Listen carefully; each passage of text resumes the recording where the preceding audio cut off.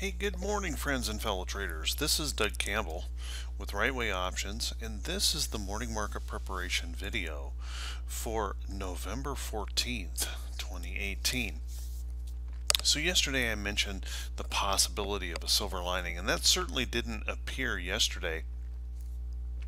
But also, I want to caution everyone because if you were to listen to or, or watch much of the news reports, about the market, one would think that the sky is falling here, but let's continue to take a look at the price action of the chart without a bias and see what the chart is telling us.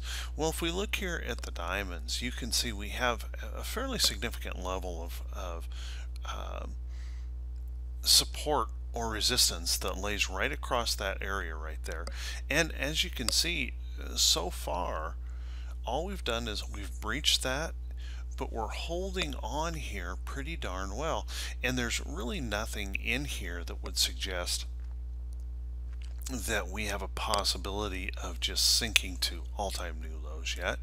In fact, what we have is we have a chart that's showing us the possibility that even though there could be more pullback, the important thing to focus on is that we're holding above the October lows. And as long as we continue to hold above those October lows, we have the possibility of a bounce.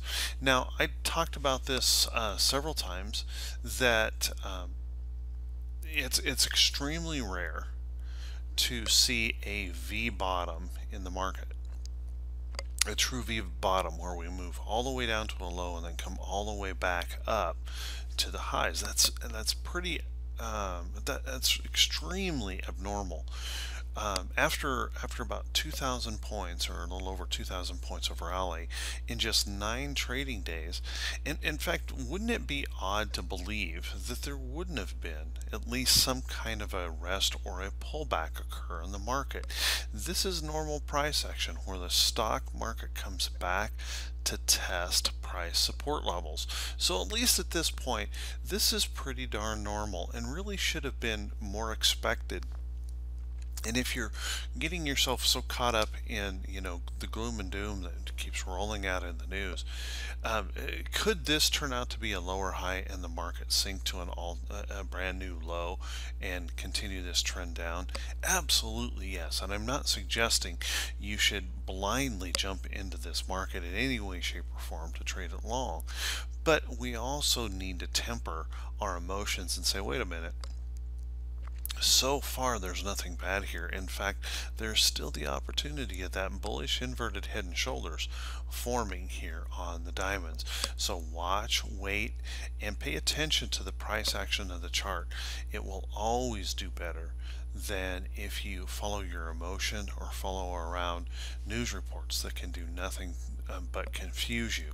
Remember, price is king, and if we've learned to follow price, we will do better in our trading. Let's take a look at um, the SPY here real quick. SP, whoop, SPY also holding up okay and this is a almost a perfectly formed inverted head and shoulders at the moment with an inverted hammer here yesterday now an inverted hammer at a price bottom and I'm not saying that this is a price bottom, but an inverted hammer at a price bottom can be a bullish clue. What we would need to see for that to be a, a, a an inverted hammer is see upside follow through today, you know, kind of confirming that as an inverted um, uh, hammer and holding a price support level right down in this area. And as long as this holds, as long as this holds down here, we're in pretty good shape. We don't want to see it just continue to bleed away and continue to sink away here. But holding it, above this um, October low, holding these support levels, is certainly not a sign that the sky is falling, at least at the moment. Hey, by the way, everyone, if this is the first time you've seen these videos, please do me a favor. Click that subscribe button on YouTube, the follow me button on Facebook. Click those thumbs up buttons and drop a comment. I do appreciate that very, very much.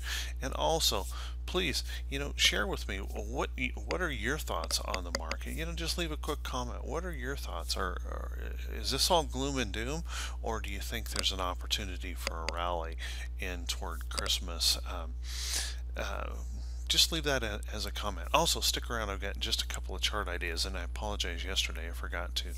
Uh, uh, bring those chart ideas up. And, and these are ideas not necessarily actionable trade ideas, but something to keep an eye on. So let's take a look at the cues here really, really quick. The, the cues are, are really the worst situation of the market right now. Having pulled back much deeper but once again, we're holding at some price support levels. We're holding above our downtrend line and we're holding above that October low. So unless we continue to sink on down through here and make new lows, we still have that opportunity of catching this bounce. That inverted head and shoulders doesn't look nearly as structured here on the NASDAQ, but there's that inverted hammer pattern. If we were to get buyers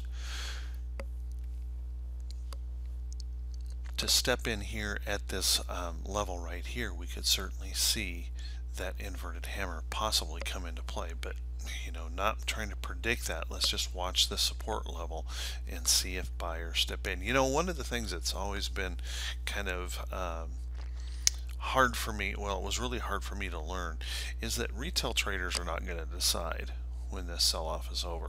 It will be the institutions.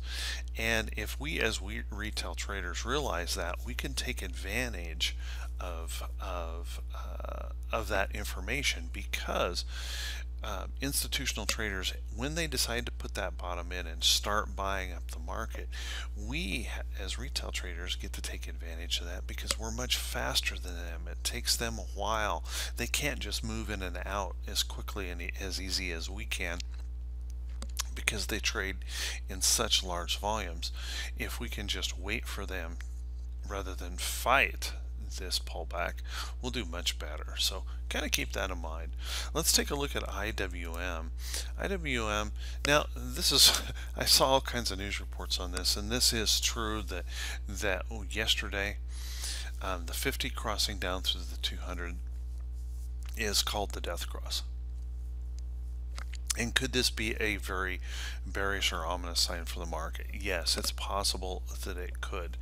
But we've also seen a lot of these kind of markets pull back and bounce right off of that. In fact, do a quick study of the uh, sell-off at the first of the year and you'll see a very similar type situation where we pulled we didn't cross over but we came down um, pretty sharply and then reversed back up so just kind of keep that in mind. Um, is it bearish? Yes, it's bearish. Is uh, does it mean that the sky is falling? It does not, at least at this point, because price action is not indicating that. So IWM here again, inverted head and shoulders pattern, um, setting above price support levels and still holding above those October lows. So as long as we can stay there, we're in pretty good shape. Let's take a look at the VIX. The VIX. You would think with uh, the volatility yesterday, the VIX would have had a little bit more of price action in it, but the VIX is not really um, spiking up in major fear. That can be a good positive clue for us as if that does not occur. As a matter of fact, what this could end up being is a little bit of a downtrend here uh, beginning to form and the possibility of a lower high in fear. So if that pulls back a little bit more, and that's what we want to see, we want to see that pull back. We want to see some of this volatility drop out of the market. But um, of course, it's very, very important that we keep an eye on the VIX. If that fear starts creeping back in, if the market starts selling off, this could easily spike, and um, that would be an uncomfortable day. For, you know, in the market, but nothing bad here yet. Just certainly a reason for concern. Let's take a look at T21, 22. T2122, that four week new high, new low ratio. I plot the T2122 on just a simple line chart and as you can see we went from the bearish reversal zone and in just nine days went clear up here into, uh, excuse me, the bullish reversal zone and spiked clear up here into the bearish reversal zone and now we're getting that swing back. And, and, and again when we move so far so fast we get these big ugly volatile swings here in the market. And if you guys remember I mentioned when we spiked over here and pulled all the way back and spiked over here and pulled all the way back I said the last thing we really want to see is the market get carried away and spike again. And that's exactly what we ended up getting. Um, I never get what I want can tell you that. But we spiked right back up here again, and now we're getting that steep pullback. So as we approach this area down here, this is the bullish reversal zone, that oversold area. We have plenty of room for upside move here now. So if we can just catch some support, uh, kind of get our footing in here, there is an opportunity. So um, I've, I've repeated this several times today and I repeated it in the morning blog, which by the way you can get uh, if you look at the description of this video, the link for that blog will be in the description. Um, I've used the term the sky is falling and the reason is it just seems like everywhere you look right now everyone wants to believe that the sky is falling but all these charts are not showing us that yet. Could it be? Yes, but there's no reason, at least at this moment, to uh, be running for cover and uh, just expecting the worst of the market. So with that everyone, hey, let's take a look. Um, by the way, on the economic calendar, there's quite a little bit going on on the economic calendar today. Um, markets moving around quite a bit this morning with about 250 companies reporting earnings today. The good news to that is we're just about ready to wind down uh, the major part of this quarter's earnings. That might help some of the volatility drop out of the market here a little bit. But for now, um, not too much to worry about here at the moment. If we, um, uh, excuse me, with that volatility, we, we definitely want to uh, pay attention to that, but not get too overly worried about it. Also on the economic calendar, there's quite a few things on the economic calendar today. Not a lot that would really be expected to move the market a bunch, but we want to also pay attention to that. So let's take a look. There's a a few charts here that I wanted to draw your attention to that I really like and I think are in pretty good condition still. This TRI, beautiful pop up here breaking through resistance. You can see a nice little tight consolidation going on here. Watch and wait for an entry into this, but TRI is looking pretty good and certainly should be on your list. I also really think a, defensive play here, if you're worried about the market looking for a little bit of protection, you might want to take a look at SO. SO, a nice utility, a nice dividend payer, uh, broke through resistance, holding here a nice a nice little uh, support area and buyers stepping in trying to push this higher so maybe keep an eye on a stock like SO looking uh, pretty darn good. Um, a stock like a WMT. WMT is a uh, consumer defensive type stock. And here's one of those stocks that moved up really, really sharply, hit a price resistance level, and is pulling back. That's exactly what we normally see in the market. So this is going to report earnings on the 15th. I wouldn't jump into this because uh, with earnings coming up so soon, but it certainly uh, gives us reason to be watching this, waiting for that earnings report to occur and waiting for an entry into this trade. So far, trend is good, holding well. It's respecting everything and notice that the sell-off here has not been extreme in Walmart. So just a few ideas for you to consider um, as you move through the day. Everyone, hey, I want to wish you all a fantastic day of trading. I want to wish you all great profits. And I want to let everyone know that tomorrow, unfortunately, there will not be a morning blog or a morning video. I will be um, at the airport really early in the morning and won't have the opportunity to put that together. So forgive me for not being able to get one out tomorrow, but I want to wish you all a great day of trading today and a great day tomorrow. We'll talk to you all bright and early Friday morning. Take care, everyone, and I will talk to you all very soon.